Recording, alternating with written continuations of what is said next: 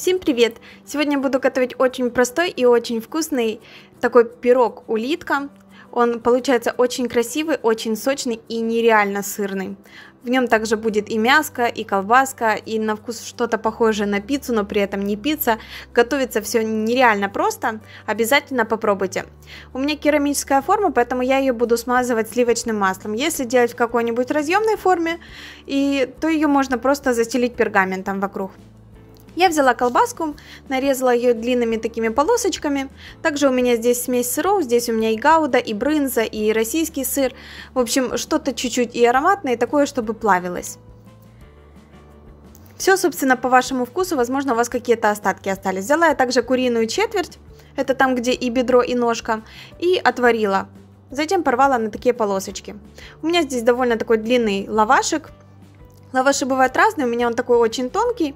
Я так прикидываю, чтобы мне можно было рулет мой завернуть где-то в полтора-два оборота и буду разрезать вот в эту сторону пополам. У меня получится два таких длинных рулетика. А дальше все очень просто. Сейчас на эту половинку лаваша буду выкладывать для начала сыр. Выкладываю сначала на лаваш более сухие продукты, чтобы лаваш мой не раскисал. Выкладываю сыр. Сыр нужно распределить так, чтобы у нас еще чуть-чуть осталось сверху на посыпку самого пирога. Но его тоже получается очень много. Затем на сыр у меня здесь пойдет колбаска. Колбаску надо было резать не очень такими толстыми кусочками, чтобы потом она э, скручивалась и принимала форму лаваша, чтобы она не была такая прям твердая. Можно использовать обычную колбаску, полукопченую, что-либо такое ароматное, ветчину, Здесь по вашему вкусу можно просто использовать мясо.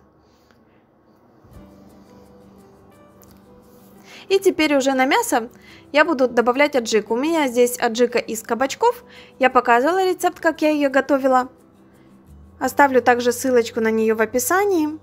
У меня такой аджики очень много, мы ее очень любим. Можно использовать кетчуп или кетчуп в смеси с майонезом. И затем скручиваю рулет. У меня, вы видите, лаваш очень тоненький, он такой прям полупрозрачный. Вот как раз у меня получается практически в два оборота лаваш. В полтора где-то, в полтора-два оборота. Этого вполне достаточно для того, чтобы лаваш не раскручивался и ничего с него не высыпалось. И затем его нужно будет переложить в форму. Форма у меня где-то 22-24 сантиметра, вот такая вот в диаметре. Чуть-чуть заворачиваю краешек и придавливаю рулетик, чтобы он был плотненько у меня уложился в мою форму. Теперь уже скрученный мой второй рулет. Его подгинаю вот так вот под низ чуть-чуть. И также скручиваю его улиточкой вовнутрь. И затем я сам рулетик сверху чуть-чуть придавливаю, чтобы он стал чуть-чуть более плоским и заполнил форму, было меньше дырочек в нем. И для того, чтобы мой рулет потом не разворачивался, хорошо соединился, я буду еще использовать сюда яйцо. Мне понадобится одно яйцо, и я в него добавляю еще где-то около 40 мл молока. Если у вас лаваш более толстый, добавьте 50 мл. Молоко нужно для того, чтобы оно пропитало лаваш, и он не был твердый, чтобы у вас получился полноценный такой мягкий пирог. Добавила также сюда чуть-чуть сольки, можно добавить какой-нибудь перчик по вкусу, но я не добавляю, можно паприки добавить.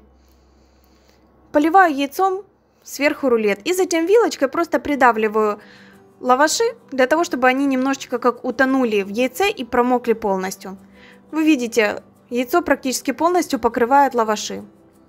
Оно еще во время выпечки немножко увеличивается в объеме и затем полностью пропитывает и покрывает лаваши получится один такой сплошной пирог.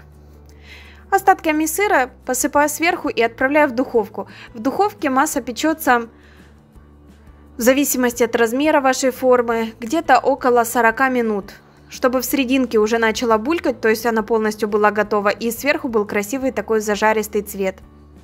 Затем я накрываю немножечко крышкой и даю отстояться. Все-таки там очень много сыра, чтобы он немножечко схватился и уплотнился, и ваш рулет не был слишком мягкий. Попробуйте, это очень просто и очень вкусно. И вам понравится, и всей вашей семье. Обязательно ставьте пальчики вверх, а с вами, как всегда, был Кекс. До новых встреч, пока-пока!